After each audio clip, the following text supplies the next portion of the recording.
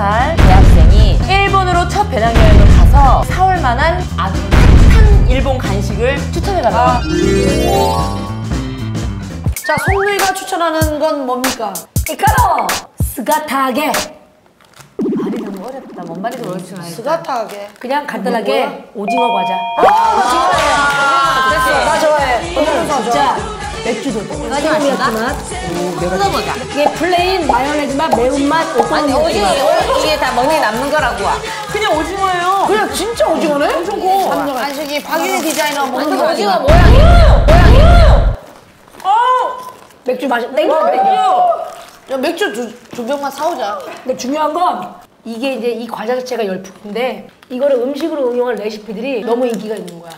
이걸요? 어, 예를, 들어, 예를 들어서 이거를 잘게 부셔서 볶음밥 재료로도 쓰고 아, 진짜 얘 한 마리를 얹어 그러면 오징어 우동이야 우동에다가? 그리고 잘게 부셨고 밥에다가 이렇게 해서 주먹밥 어, 이게 좀 이상하지 않을까요? 과자인데. 야, 이거 언니. 몇 살이야? 어!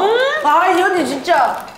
나 주먹밥부터 먹어봐 이걸 다 빠사가지고 빠사가지고 이렇게 해서 먹어. 우와. 그렇지 빠 사가지고 그러면 무슨 맛이 나냐면 어머! 맛있다.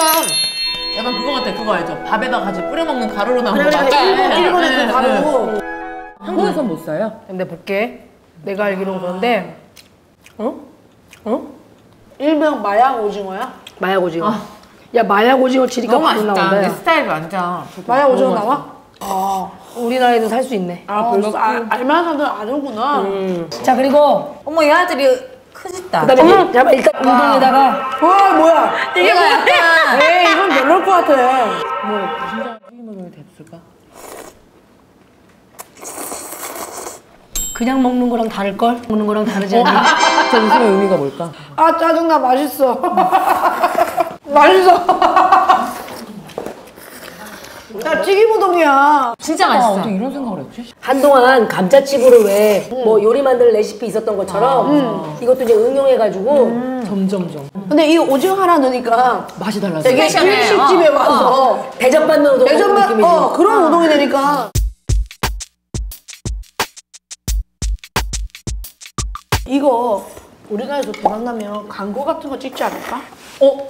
광고 원미스 오징어 춤으로 시작하자. 딴딴딴 야야야야 괜찮다. 땅땅땅 우, 함 들어가요. 함 들어가요. 야야야야 내 발이 땅땅땅 야야야 비보